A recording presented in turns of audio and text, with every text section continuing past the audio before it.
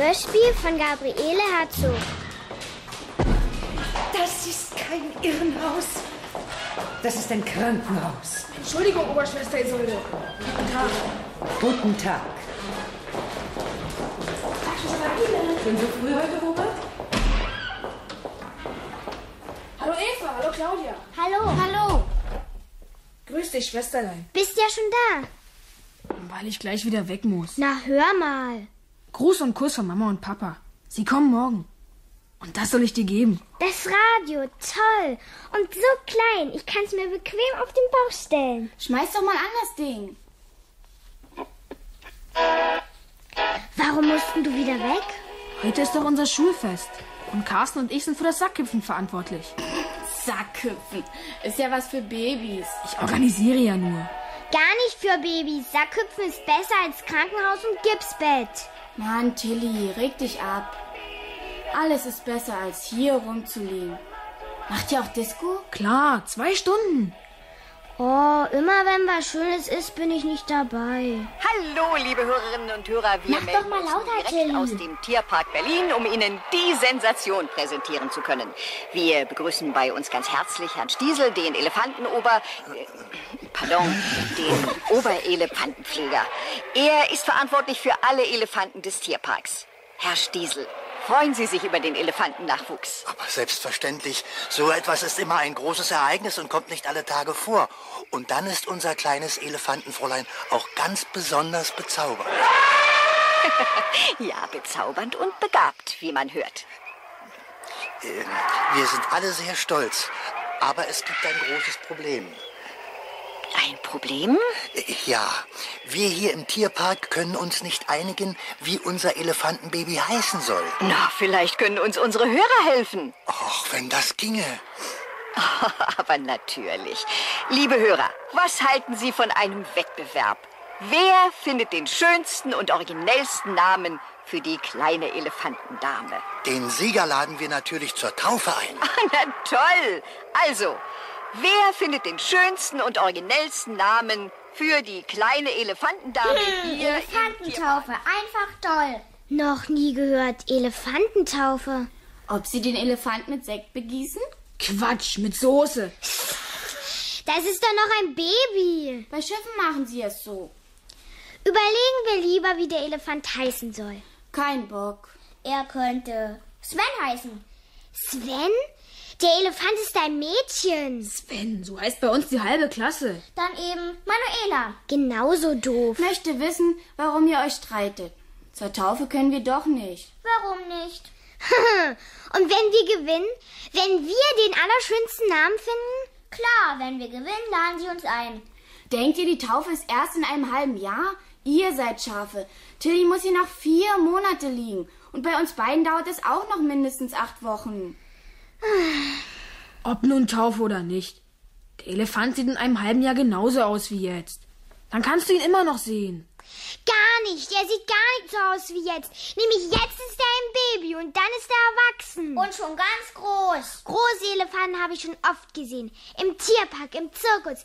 Ich will keinen großen Elefanten sehen. Ich will das Elefantenbaby sehen. Tilly, vielleicht übertragen sie die Elefantentaufe vom Fernsehen. Bestimmt. Fernsehen. Du kannst ja Fernsehen. Entweder lebendig oder gar nicht. So. Reg dich ab, Tilly. Erst musst du den besten Namen finden. Finde ich auch. Und ich schreibe an den Rundfunk. Ihr werdet's ja sehen. Wer angibt, hat mehr vom Leben. Und wie soll das Baby heißen? Tilly. Tilly? Na klar, Tilly. Wie denn sonst? Mensch, ich muss los. Tschüss, ihr drei. Wann kommst du wieder? Freitag. Morgen kommen Mama und Papa. Um fünf. Das ist kein Irrenhaus. Das ist ein Krankenhaus. So, Evchen, schön den Mund auf und schlucken. Claudia, du kannst das allein, bist schließlich die Älteste. Ja, ja. Und am längsten hier. So, Tilly, jetzt bist du an der Reihe. So große Dinger, die kriege ich nicht runter. Komm, viel dir zu trinken. Wenn ich mich wenigstens hinsetzen könnte. Ich helfe dir mit der Schnabeltasse. Geh, na? In einer halben Stunde Chefarztvisite. Das mir aber auch alles tipptopp ist, Mädchen. Schwester Sabine, ich kann mich auf Sie verlassen. Selbstverständlich, Oberschwester. Ach ja, hier ist noch ein Brief für dich, Tilly. Für mich? Ja, für dich höchstpersönlich. Vom Rundfunk, vom Rundfunk, hurra! Hurra! Wahnsinn, toll! Ich hab toll. gewonnen, ganz bestimmt!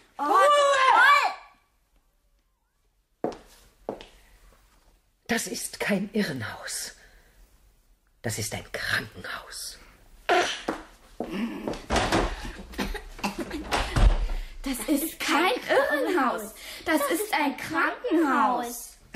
Los, Tilly, mach mal auf. Schnell. Los, Tilly, mach doch mal. Beglückwünschen wir Sie. Sie. Unsere Jury hat sich für Ihren Vorschlag entschieden. Am 1. Juni wird unser Elefantenbaby feierlich auf den Namen Tilly getauft. Dazu laden wir Sie recht herzlich ein. Des Weiteren haben Sie eine Jahreseintrittkarte für unseren Tierpark gewonnen. Hätte doch nie gedacht, dass du wirklich gewinnst. Ich hab aber gewonnen und ich will Tilly sehen. So. Tilly, nun halt doch mal die Luft an. Wie soll denn das gehen? Ich will das Elefantenbaby sehen. Ich hab den schönsten Namen gefunden. Wenn du wieder laufen kannst, gehen wir in den Tierpark so oft du willst. Wenn ich wieder laufen kann, ist Tilly kein Baby mehr. Jetzt will ich sie sehen. Richtig lebendig. Tilly, hör auf zu weinen. Elefanten kommen nun mal nicht ins Krankenhaus. Und wenn du noch so viel heulst.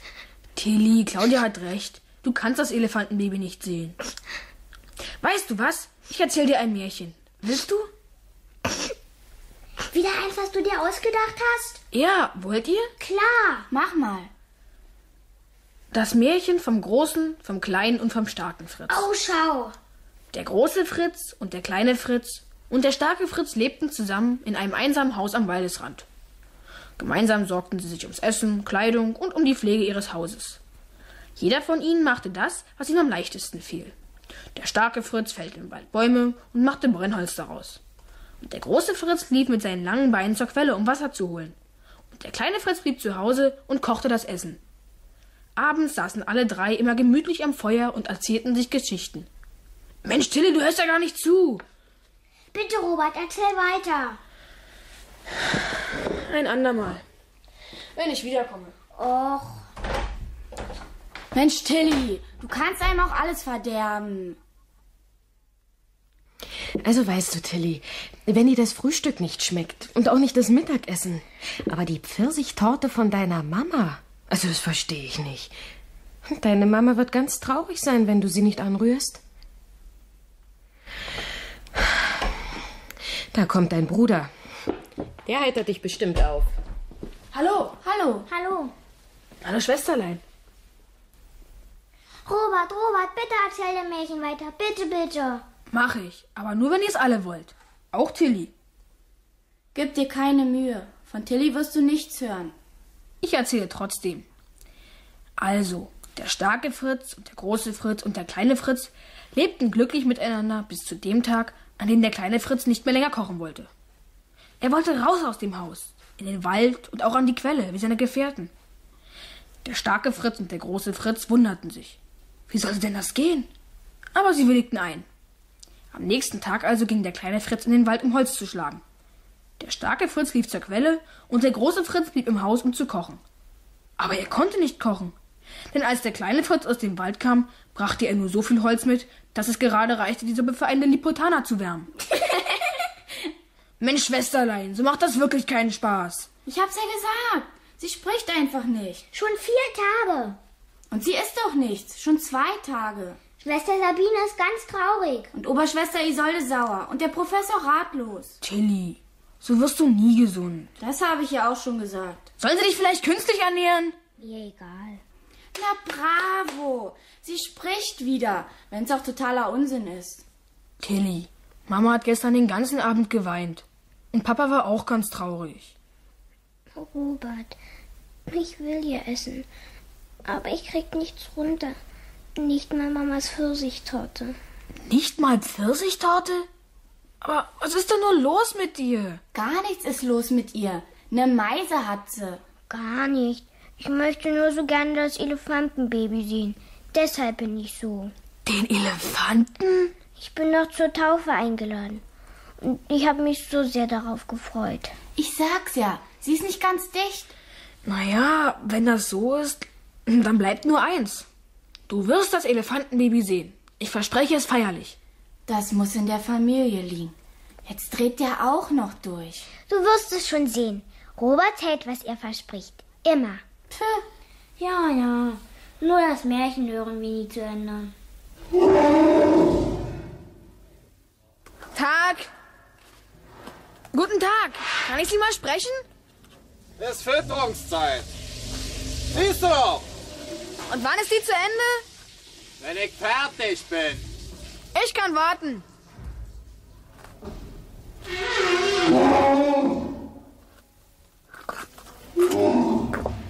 Bist ja immer noch hier. Ich wollte Sie gern was fragen. Was gibt's denn? Ja, ich. Ich wollte. Nee, nee, nee, nee, nicht die alte Leier. Ich brauche niemanden, der mir hilft. Und wenn der Elefanten noch so sehr liebt. Und wenn du wissen willst, wie man Elefantenfleher wird, das wird man ja nicht. Man wird Zootierfleher. Da musst du dich bewerben. Aber sie nehmen da nicht. Sie nehmen keinen. Jedenfalls fast keinen. Keine Planstellen. Wenn du weißt, was das ist. Ich will aber gar kein Elefantenpfleger werden. Ich dachte. Magst du keine Elefanten? Doch, doch, natürlich. Sehr. Ich wollte nur fragen, ob man sich mal einen Elefanten ausbauen kann. Einen kleinen. Wie? Was? Was willst du? Hau ab, Mensch. Verkohlen kann ich mal alleine. Ich will sie nicht verkohlen. Wirklich nicht. Ausbauen. Einen kleinen. Also, das muss ich ja lassen. Das ist mir noch nicht passiert. Kollege Dünnbier, Ja? Sie sollen in die Futterküche kommen. Sofort. Ich gehe ja schon. Steht rum und quatscht. Was suchst du denn hier? Für Unbefugte ist der Zutritt verboten. Sind Sie Herr Stiesel? Der Oberelefantenpfleger? Ja. Ich wollte Sie was fragen. Es geht um den Wettbewerb im Rundfunk. Sie wissen schon. Meine Schwester hat gewonnen und sie ist eingeladen zur Taufe. Wie schön für Sie. Es ist bloß, sie liegt im Krankenhaus. Kann ich kommen. Das ist ein Pech. Aber sie möchte gern. Sehr gern.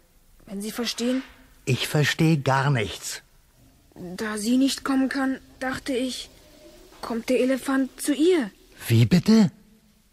Ich meine, ob nicht das Elefantenbaby zu meiner Schwester. Natürlich, klar, nichts leichter als das. Am Montag besucht sie der Elefant. Am Dienstag sagt ihr der Fernsehturm Guten Tag. Und für Mittwoch bestellen wir dann die Ostsee ins Krankenhaus. Irgendwo bist du nicht ganz dicht. Bitte, Herr Stiesel. Es muss doch eine Möglichkeit geben. Eine gibt es. Ja? Du verschwindest und zwar auf der Stelle. Das ist die einzige Möglichkeit. Aber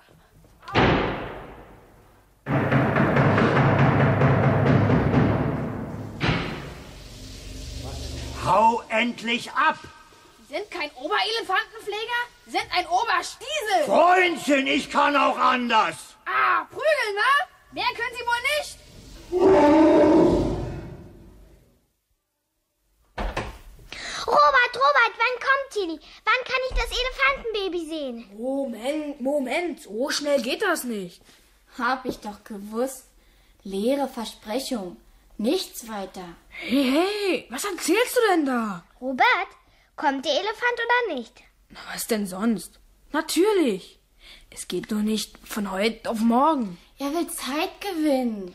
Robert, bitte sag, dass er kommt. Er kommt, Tilly, er kommt. Claudia, weißt du, was du bist? Was denn? Ein pickliges Warzennashorn. Oh, Idiot! Aua! Und weißt du, was du bist? Super gemein. Richtig mies. Tilly will den Elefanten sehen. Und du tust so, als ginge das. Es ist aber unmöglich. Völlig unmöglich. Und wenn Tilly das begriffen hat, dann wird sie wieder nicht sprechen, nicht essen und nicht gesund werden. Robert hat es mir versprochen. Stimmt, ich hab's versprochen. Mach's gut, Schwesterlein. Ich muss los. Tschüss. Und wann erzählst du das Märchen zu Ende?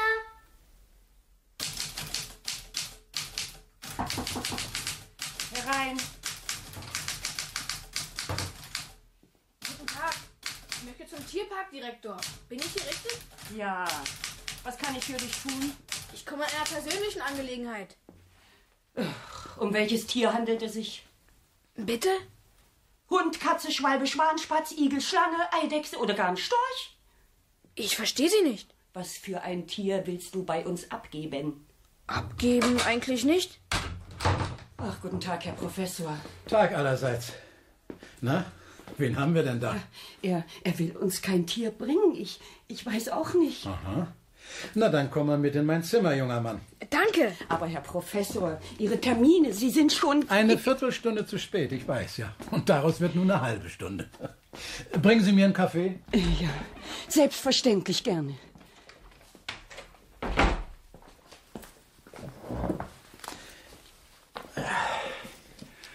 Also? Also, meine Schwester, die heißt Tilly und liegt im Krankenhaus, im Gipsbett. Schon seit vier Wochen. Und vier Monate wird es auch noch dauern, ehe sie wieder laufen kann. Ja, und sie hat den Wettbewerb gewonnen. Hat den schönsten Namen für das kleine Elefantenbaby gefunden. Und ihr Tierpark hat sie zur Taufe eingeladen. Und nun ist sie ganz traurig. Spricht nicht mehr, lacht nicht mehr, isst nicht mehr. Sie möchte unbedingt das Elefantenbaby Tilly sehen. Verstehe. Wenn meine Schwester gesund ist, ist das Baby ein großer Elefant. Sie will es jetzt sehen. Also muss der Elefant ins Krankenhaus. Verstehe. Wirklich? Na, ist doch logisch. Deine Schwester kann nicht kommen, also muss der Elefant kommen. Aber Herr Professor. Genau. Ja, genau. Aber nun mal Spaß beiseite. Deine Schwester tut mir sehr leid. Sag ihr ganz liebe Grüße von mir. Aber um den Elefanten zu sehen, wird sie noch etwas warten müssen. Von allem anderen mal abgesehen.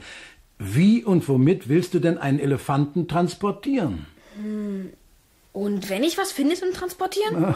Äh, Trabant-Kombi reicht aber nicht. Sei nicht so traurig. Von traurigen Kindern bekomme ich Herzschmerzen. Und wenn ich ein Fahrzeug auftreibe? Ja, ja. Dann sehen wir weiter. Danke, Herr Professor. Vielen, vielen Dank. Das rollt und rattert, quietscht und hupt.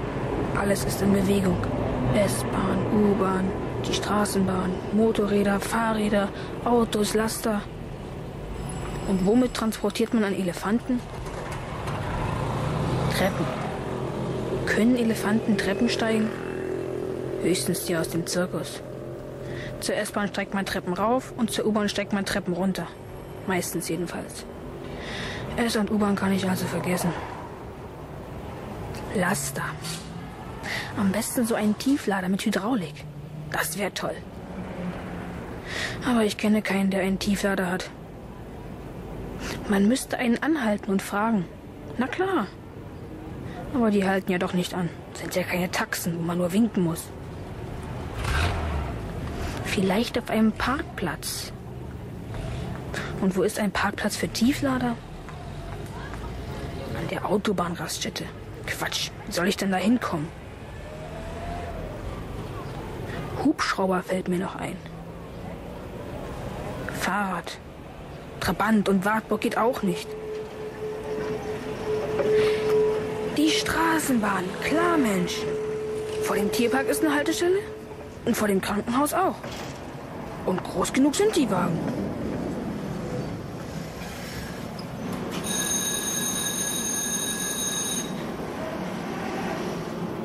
Nächste Haltestelle in der Weltjugendstation. Noch eine Station. An der Endhaltestelle macht der Fahrer Pause. Dann kann ich ihn fragen. Der sieht ja ganz gemütlich aus. Die Dicken sind meistens freundlicher als die Dünnen. Mal sehen.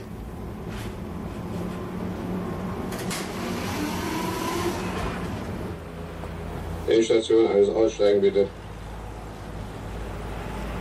Entschuldigen Sie. Ich entschuldige ja nicht. Ich habe jetzt Pause und Kohldampf. Ich wollte ja nur fragen, ob... Nee, ist nicht abgegeben worden. Geh zum Fundbüro. Oder noch besser, pass auf deine Klamotten auf. Und nur raus mit dir. Dick und gemütlich. Von wegen. Ochse. Aber vielleicht hat er nur Knast. Vielleicht, wenn er gegessen hat und satt ist. Ich muss es probieren. Was soll ich nachher Tilly im Krankenhaus sagen?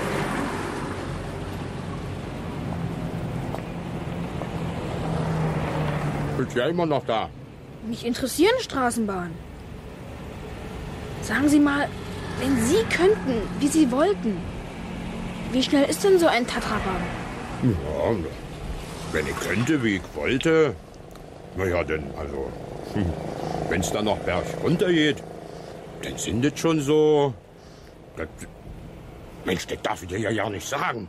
100? Ja, mit Rückenwind. Aber da muss man schon fahren können, wenn man das Ding wieder zum Stehen kriegen will. Stimmt's? Ja, stimmt genau. Bist ja ganz schön helle. Äh, finden Sie die Türen optimal? Ich meine, sind sie nicht zu schmal für so viele Leute? Damit die Wiener Hammelherr darin stürzen und überhaupt keiner mehr bezahlt? Nee, nee. Aber wenn's mal sein müsste, könnte man die Türen erweitern? Notfalls? Wenn's mal sein müsste, ist der Käse. Das muss nicht Sinn. Könnte aber doch. Könnte aber doch. Warum denn zum Teufel? Na, wenn man was transportieren will. Was Großes, Breites. Dann nimmt man einen Transportwagen, klar? Das hier, das ist ein Personenbeförderungsmittel. Ist der so groß wie ein LKW? Ja, die Ladefläche ja. Und darauf kommt's ja an, ne? Hm, kommt es an. Und ein Elefant? Was? Ein Elefant? Nur mal angenommen. Ginge da auch ein Elefant drauf? Na du, ja. Also wenn es sein muss, auch ein Elefant. Kommt man aber schwer ran. An so einen Transportwagen, meine ich. Also wenn ich will, da kriege ich so ein Ding. Jederzeit. Kann ich mal wiederkommen? Straßenbahnen sind nämlich ein Hobby von mir. Na sicher, mein Junge.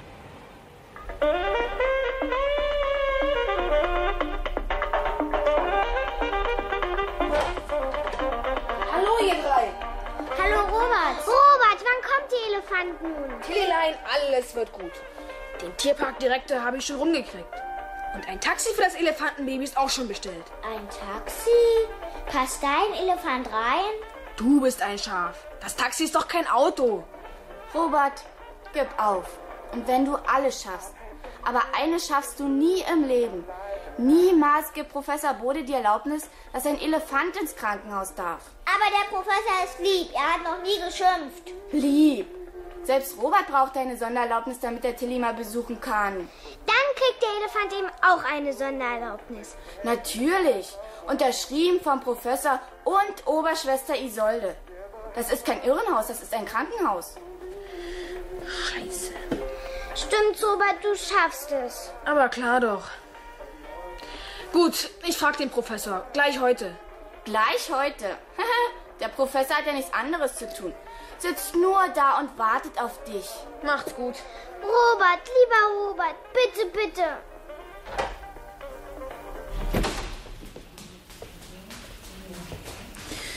Eins steht fest. Für den Professor muss mir super was einfallen. Da hat Claudia recht. Termin oder so kriege ich bei dem nie. Herr Professor, da Ihr OP-Plan geändert ist, muss ich darauf bestehen. Mensch, da kommt er ja. Robert, jetzt oder nie? Junge! Hast du dir was getan? Puls normal. Ja, Atmung auch normal. Warum macht er die Augen nicht auf? Keine äußerlichen Kopfverletzungen. Die paar Stufen sollten ihm auch nichts ausgemacht haben. Ja, na los, transportieren Ja. wir ihn erstmal auf die nächste Station. Vorsicht. Und ganz langsam. Ja, geht's. Oberschwester Isolde, spritzen wir ihm was, damit er wieder auf die Beine kommt und dann ab mit ihm zum Röntgen. Jawohl, Herr Professor. Wo, wo bin ich? Was ist los? Die Treppe bist du runtergefallen, das ist los. Wo tut's denn weh? Eigentlich, eigentlich tut gar nichts weh. Na, also. Oberschwester, Sie achten darauf, dass unser Akrobat noch ein halbes Stündchen liegen bleibt, ja? Ah, ah, ja, jetzt wird mir wieder ganz schwindelig. Doch eine leichte Gehirnerschütterung. Herr Professor. Her mit der Spritze. Nein, keine Spritze. Ich hab. Ach, jetzt geht es wieder besser, oder? Ja, nein, also ich. Pupillen sind völlig normal. Ich glaube. Genau das glaube ich auch, Oberschwester. Also, unsere Intensivtherapie. Ja. Zwei Flaschen Lebertran Jawohl. einzunehmen sofort. Danach eine Stunde ins Schlammbad mit ihm. Jawohl. Dann wird er wieder ganz lebendig. Nein, bitte keinen Lebertran. Herr Professor, Ja? ich muss Sie sprechen. Ach nee. Und deshalb fällst du die Treppe herunter? Stimmt, weil ich Sie sprechen muss. Und zwar allein. Allein? Es geht um Leben und Tod. Das ist kein Irrenhaus. Ganz richtig, Oberschwester. Sie haben recht, wie immer. Und jetzt lassen Sie mich bitte mit unserem Akrobaten allein. Unglaublich. Also, Ich, ich höre. ich brauche eine Besuchssondererlaubnis. So, für wen denn? Für einen Elefanten. Und, und, und wen soll der Elefant besuchen? Meine Schwester Tilly. Sie wünscht es sich so sehr. Und sie wird nur gesund, wenn sie den Elefanten sehen kann. Ja, prima. Dann kann ich ja nach Hause gehen. Wir holen Elefanten, Affen, Nashörner, Tiger, Löwen, Giraffen und Pinguine ins Krankenhaus und schon sind alle Patienten geheilt. Herr Professor. Ja. Sie kennen meine Schwester nicht. Wenn sie einen Elefanten sehen will, dann will sie ihn sehen. Da können hundert Ärzte nicht helfen. Und wenn ich ihr nicht bald den Elefanten beschaffe, dann hört sie wieder auf zu essen und zu sprechen. Und meine Mama weint wieder den ganzen Tag. Bist du beim Zirkus? Nein, Und dein Vater ist nicht zufällig der Tierparkdirektor? nein. Gut. Dann sollst du die Sondererlaubnis haben. Danke. Und Oberschwester Isolde? Ah, richtig. Weißt du, die fragen wir erst danach. Sie sind der tollste Professor, den ich kenne. Äh, Noch eins. Ähm, Sollte dieser Elefant zufällig einen vereiterten Blinddarm haben, operiert wird er in meiner Klinik nicht. Verstanden? Alles klar. Wunderbar. Gut. Nun habe ich schon zwei Professoren auf meiner Seite. Wer ist denn der andere? Der Tierparkdirektor. Straßenbahnen sind mein Hobby. Na dufte. Bitte entschuldigen Sie, es war eine Notlüge. Sie müssen mir helfen. Es geht um das Leben meiner Schwester. So einen Transportwagen für einen halben Tag nur. Das ist doch für Sie kein Problem. Ich, wenn ich will, jederzeit. Haben Sie gesagt? Hab ich das? Haben Sie. Ja, aber es werden Betriebsfremde damit fahren. So ein Elefant gehört ja nun nicht direkt zur Belegschaft. Nicht direkt. Wir brauchen eine Genehmigung unseres Direktors, sonst läuft da nichts. Wo finde ich den? Nee, nee, nee. Lass mal. Den übernehme ich. Na, vielen Dank. Und Sie sind sicher. Sie fühlen sich ganz wohl. Und ich? Ich bin völlig in Ordnung. In einer halben Stunde beginnt mein Dienst auf der 17. Sie wollen nicht bei Dr. Hartleib vorbeigehen. Vorsichtshalber. Verdammt nochmal! Ich spreche doch wohl Deutsch. Ich habe gesagt, was ich will. Einen Transporter für den Vormittag. Um einen Elefanten zu transportieren. Sie haben's erfasst. Wie lange sind Sie schon bei der Bahn? Zehn Jahre. Und die Dienstvorschriften sind Ihnen bekannt? Die sind mir. Sehr gut so, ja. Aber ab und zu muss man genau diese Vorschriften vergessen. Ich muss doch sehr bitten. Hätte ich mir vor drei Jahren an die Vorschriften gehalten, ja? Da wären die 17 und die 49 auf dem Markschen Markt zusammengestoßen. Aber lieber Kollege, da ging es darum, eine Katastrophe zu verhindern. Eine Katastrophe. Ein todkrankes Kind ist für Sie keine Katastrophe? Selbstverständlich. Aber was hat denn das mit den Vereinigten Verkehrsbetrieben zu tun? Wissen Sie, was Sie sind? Ein seelenloser, vertrockneter Bürohengst.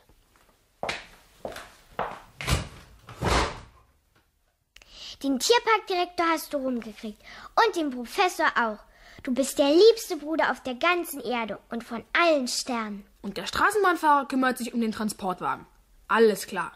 Bald steht das Elefantenbaby hier vor deinem Fenster. Wirklich, Robert.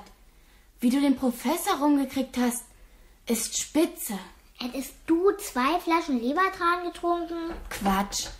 Trotzdem, dass er einen Elefanten in sein Krankenhaus lässt. Wer lässt wen ins Krankenhaus? Der Professor. Den Elefanten. Seid ihr denn bescheuert? Das war's dann wohl. Ein Elefant im Krankenhaus. Nur über meine Leiche. Der Professor hat's schon erlaubt. Ich kündige.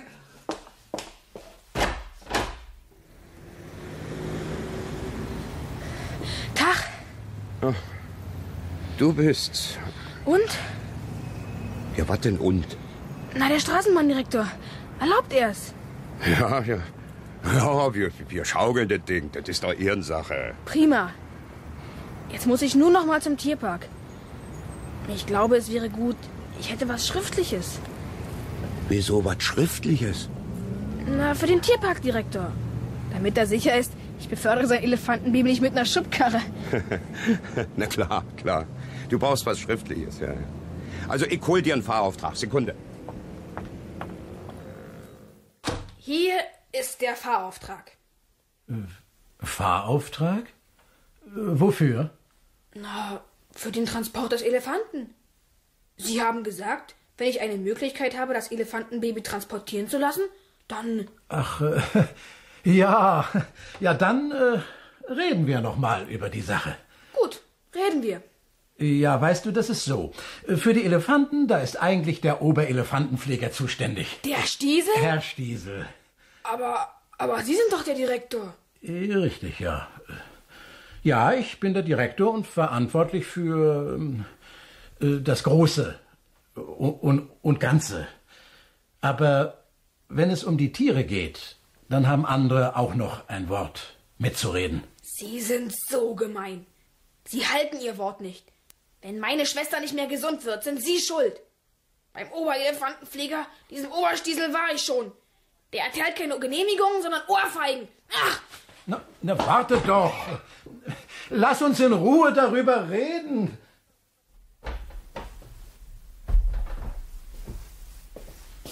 Hallo. Hallo Robert, erzählst du heute dein Märchen zu Ende? Robert, ich habe heute Naschlag zu Mittag gegessen. Es ist schiefgelaufen. Stimmt's? Tilly, ich hab's versprochen. Und ich habe alles probiert. Aber es geht nicht. Du wirst das Elefantenbaby nicht sehen können. Nicht jetzt, nicht im Krankenhaus. Bitte sei mir nicht böse. Tilly, bitte sei nicht traurig. Und, und weine nicht. Sag was. Robert, hör auf. Ich bin auch nicht traurig. Nur ein bisschen. Und den Elefanten gucke ich mir im Tierpark an. Im Winter, wenn ich wieder laufen kann. Und so ganz groß ist er dann da bestimmt noch nicht. Kein Elefantenbaby mehr, aber ein Elefantenkind. Klar, Robert. Im Winter gehen wir alle zusammen. Du, Tilly, Eva und ich. Das wird ganz schau. Wirst sehen. Danke, Claudia. Du bist doch kein pickliges Warzennashorn. Da ist Schwester Sabine. Robert, warte mal. Ich will zu meiner Schwester. Das geht heute nicht. Warum? Anordnung vom Professor. Aber warum? So genau kann ich dir das auch nicht sagen. Geht's ihr nicht gut? Wir müssen abwarten. Erstmal braucht deine Schwester Ruhe. Aber ich mach gar keinen Krach. Robert, glaub mir, es geht nicht. Na gut, komme ich morgen. Morgen kommen deine Eltern, sie haben angerufen. Besuchst Tilly nächste Woche, dann geht es ihr sicher besser. Aber Schwester Sabine, sagen Sie ihr wenigstens, dass ich da war. Natürlich. Und wenn du kommst, melde dich erst bei mir, klar? Klar.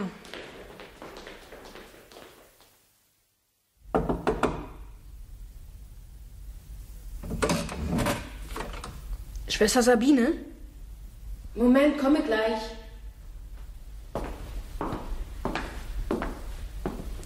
Schwester Sabine, darf ich heute zu Tilly?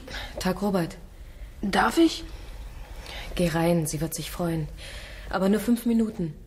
Also geht's ihr nicht besser. Sie ist sehr schwach, schläft fast immer. Ich weiß, von Mama und Papa. Tilly, ich bin's, Robert. Ob ich sie wecke? Versuch's. Wenn sie mal wach ist, fragt sie immer nach dir. Warum geht es ihr denn plötzlich so schlecht? Selbst der Professor weiß es nicht. Sie machen alles Mögliche mit Tilly. Aber Schwester Sabine füttert sie meistens. Tilly. Tilly, wach auf. Robert, Ja, ich bin's. kommst du morgen wieder? Das weißt du doch. Aber nicht vergessen. Tilly. Sie ist schon wieder eingeschlafen. Warum ist sie so schwach? Robert, der Professor will dich sehen. Mich? Ja, dich. Komm mit.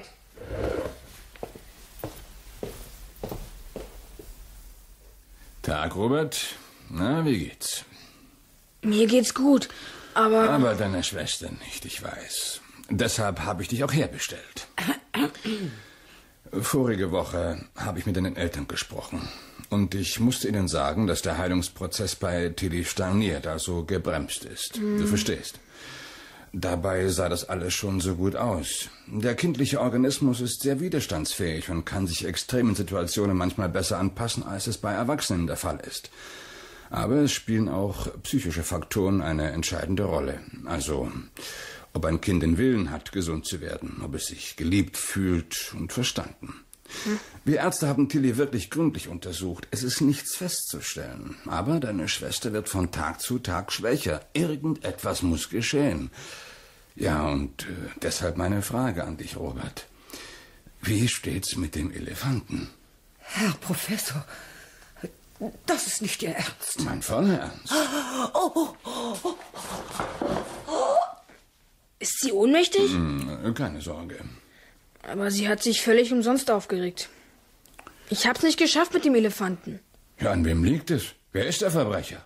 Der Tierparkdirektor. Na, das werden wir ja sehen. Herr Professor, meine Zustimmung kriegen Sie nie. Das ist kein Irrenhaus. Das, Das ist ein Krankenhaus. Jawohl. Ein Elefant nur über meine Leiche. Ja, bitte verbinden Sie mich mit dem Tierpark. Ja, sicher mit dem Direktor. Dachten Sie mit dem Häuptling der Schimpansen? ja, einen wunderschönen guten Tag, Herr Professor. Ich will Ihre Zeit nicht lange in Anspruch nehmen. Ich weiß ja, wie beschäftigt Sie sind. Kurz, ich äh, brauche einen Elefanten. Für, na sagen wir... Zwei Stunden. Ja, äh, zwei Stunden. Oh nein, nicht schon wieder.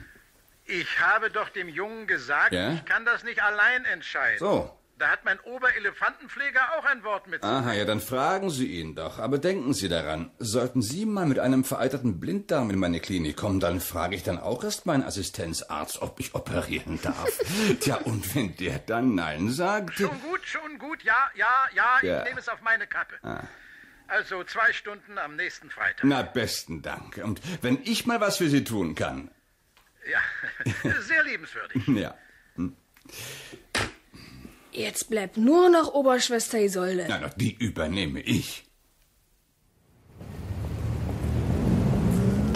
Komm, Tillylein, komm, Ja, komm. na, schön vorwärts. Na, Tilly, nicht stehen bleiben. Vorwärts, doch nicht stehen bleiben. Ich hab Brot mit und Mohrrüben. Ja, sehr gut.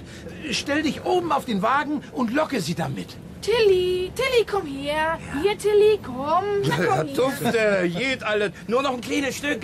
Komm, Tilly, komm. Komm her. Sie will nicht mehr. Äh, Los, alle Mann schieben. Also, und, und.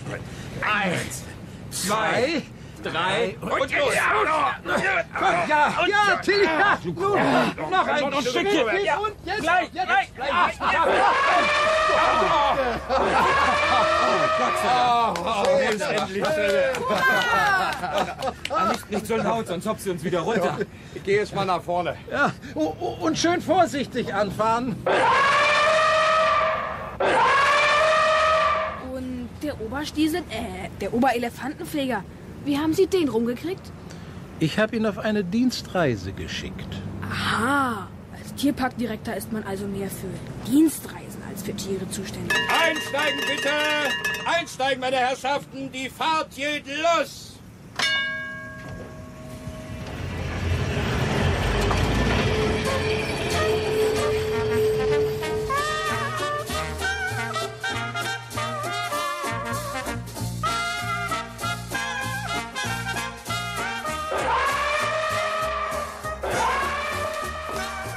Herr Professor, Sie haben mich rufen lassen. Oberschwester, ich sitze in der Klemme. Kann ich Ihnen helfen? Ja, Sie können, Verehrteste, Sie können. Es geht um eine hochwichtige Angelegenheit. Also, man möchte wissen, wie häufig die verschiedenen Vornamen bei unseren Mitarbeitern vertreten sind.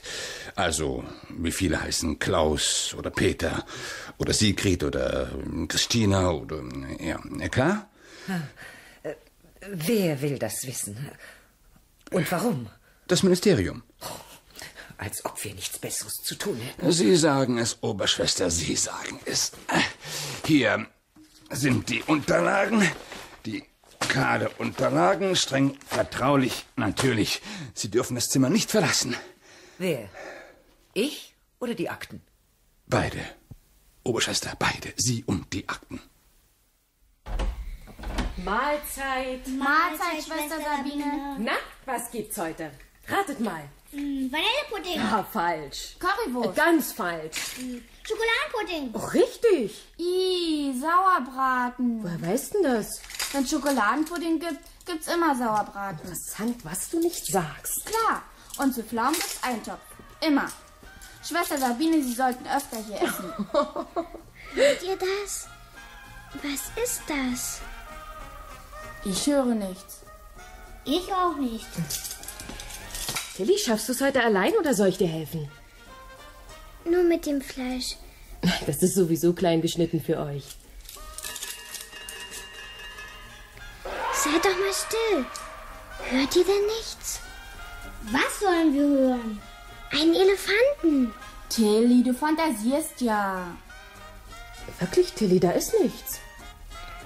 Doch, doch, bestimmt. Robert, er hat es geschafft. Hurra, das ist Tilly, mein Elefantenbaby.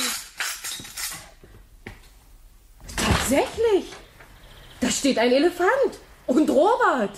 Schnell, Schwester Sabine, schieben Sie mein Bett ans Fenster. Wir wollen auch Ich auch. was Nee, sehen. nee, gleich, gleich. Aber zuerst ist Tilly dran. Komm.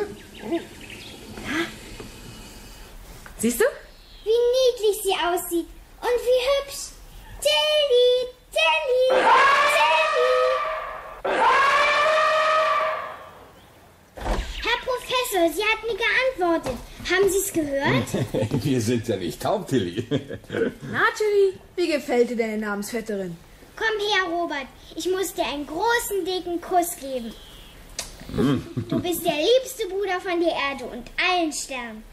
Alle sind lieb. Der Tierparkdirektor, der Straßenbahnfahrer und der Professor und der Elefantenpfleger und überhaupt alle. Ein Elefant im Krankenhaus. Herr Professor, in unserer Klinik heißen 55 Leute Klaus, 56 Peter, 38 Thomas. Und eine hieß Isolde, ich kündige. Oberschwester Isolde. Herr Professor, ich will nicht in einer Klinik arbeiten, in der den Ärzten nichts Besseres zur Heilung einfällt, als einen Elefanten heranzuschleppen. Oberschwester, manchmal braucht es zur Heilung noch ein bisschen mehr als ärztliche Kunst. Oberschwester Isolde, sehen Sie sich doch Tilly erst einmal an. Sie ist so niedlich. So einen schönen Elefanten haben Sie doch noch nie gesehen. Und sehen Sie sich vor allem unsere kleine Patientin an. Herr Professor, ich möchte... Sie möchten Ihre Kündigung zurücknehmen. Äh, Kommen Sie, kommen Sie. Wir genehmigen uns jetzt einen Kaffee und lassen die Kinder mit ihrem Elefanten allein. Ich freue mich so. Diesen Tag werde ich nie vergessen. Niemals. Ein richtiger Elefant. Mit einer ganz langen Nase. Das ist ein Rüssel. Genau. Rüssel heißt das. Tilly, nun bilde dir mal bloß nichts ein. Auf überhaupt nichts. Höchstens auf deinen Bruder Robert.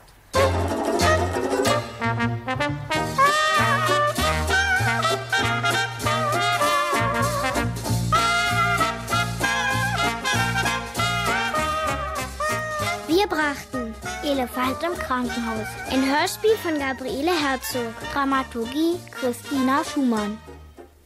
Es spielten Tilly, Maxi Nachtigall, Robert, Robert Petersen, Eva, Ulrike Heine, Claudia Sandra Hoffmann. Oberschwester Isolde Eva Maria Barth. Schwester Sabine Gundula Köster. Klinikdirektor Hans-Jürgen Hörig. Elefantenpfleger Jens-Uwe Bogatke. Oberelefantenpfleger Stiesel Peter Domisch. Tierparkdirektor Klaus Mertens. Straßenbahnfahrer Günther Junghans. Direktor aller Straßenbahnen Klaus Hecke und andere. Schnitt Jörg Theil. Ton Heiderose Reichelt. Regieassistenz Evelyn Fuhrmeister. Regie Marita Hübner.